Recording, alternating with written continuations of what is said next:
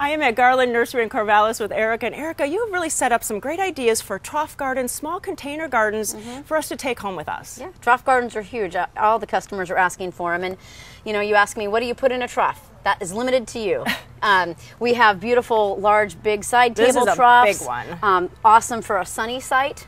Um, as far as choosing what kind of soils you want to put in them, that's a very important thing to think about. You don't want to just grab any garden soil just out of the yard. Oh, you need no. to use something that's well draining. Okay. Um, cactus mix is what I like to use. Okay. Obviously, we're doing succulents and sedums and hens and chicks. Good draining. Draining is good, yes.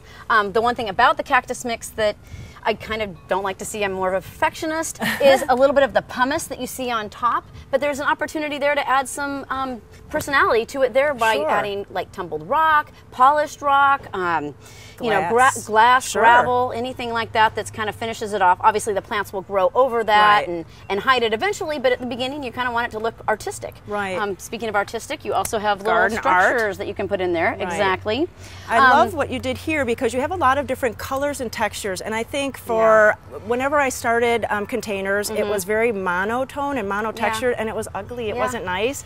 So really you got all these kind of pokey textures, smooth textures, Absolutely. Yep. Different colors. You have the bright. You have the you know the darker. Um, something that flowers. Something that's just for the foliage. Mm-hmm. Right. Um, and kind of intermingling them really helps draw the eye through the planter. beautiful. Really. And what if we don't have a big piece like this? Yeah. Something smaller. Well, most, like we say, most troughs are very narrow, very you know, shallow. Um, as far as like using the soil, we've talked about the cactus mix, but you don't want to fill it up too high. You want to leave room for those plants to be setting Sure, in there. sure. Um, yeah. Well, but I see that you have some smaller ones here, so we don't have to go really big. Maybe we want to start small, or we have a smaller space. Yeah, absolutely. And I think I mentioned earlier, you know, a vessel is a vessel, a trough is a trough. You can Right. choose anything you have at home. It's something small, and then you just add to it whatever you want. I, I think, you know, having copper pots would be beautiful. Nice. I take old plastic pots and spray paint them colors. I That's a great idea. Yeah, it's fun. Um, Well, if we don't have sun, what do we do if we don't have sun? So there are awesome steppables. There's awesome, you know, ground covers. Here we have a few to look at. If you want something a little brighter, you've got some of the mosses. Right. Um, blue star creeper. There's the dark blue and a light blue that are absolutely Pretty. gorgeous for something that's flowering. Um, I'm one of my personal favorites because you can't do anything to get rid of this sucker. I mean, this guy is going to grow no matter where you put him. Is Lysimachia, and it's kind of cool trailing over in a certain corner of the trough. Yes, and then you've got some gray foliage there as well. So Well, I think you've given us some really good ideas. And one of the other big trends these last couple of seasons is fairy gardens. So we're going to go over and talk to Brenda and talk about those with the gnomes. I like it.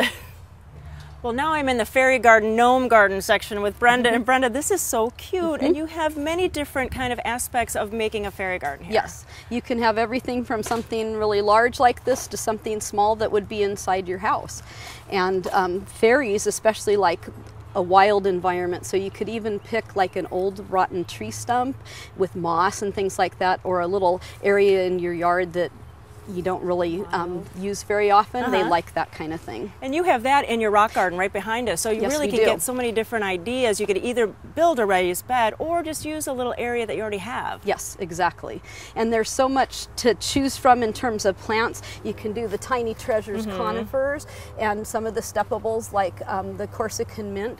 But then there's a lot of lore that goes along with plants for fairy gardens. For instance, um, fairies are said to really love fuchsias because Oh. it attracts the hummingbirds, and fairies like to fly with the hummingbirds. So there's all sorts of information online as to all that different plant lore. And it sounds like you know a lot of it too. So mhm. that's really cool. Well, I have one at home. Ah. I have a little miniature fuchsia and some fairies in there. Yes. That is mm-hmm. so cool mm-hmm. because there's really it's your creativity and your escapism. We were talking about that with Erica, and mm-hmm. it's just kind of just jump in Yes. and just pick things out that you would like to play with. Yes, it's very whimsical, and you can add your personality to the whole thing. And accessorizing is that's the most fun of all. Picking the little um, little chairs, and there's arbors and um, little drink glasses, and the fairies, of course, Oh, because they're adorable and just beautiful. Yes. Yeah, and the gnomes are fun too. So Yes. there's really something for everyone. Yes. You have to come out to Garland Nursery and just see all the different kind of pieces that you can get to put it together for your own home.